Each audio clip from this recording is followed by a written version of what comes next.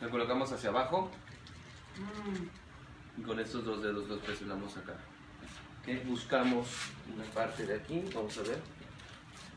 Checamos primero que nada hasta dónde entra. Salimos un poquito para que no, para que quede un poquito de espacio. Ujú.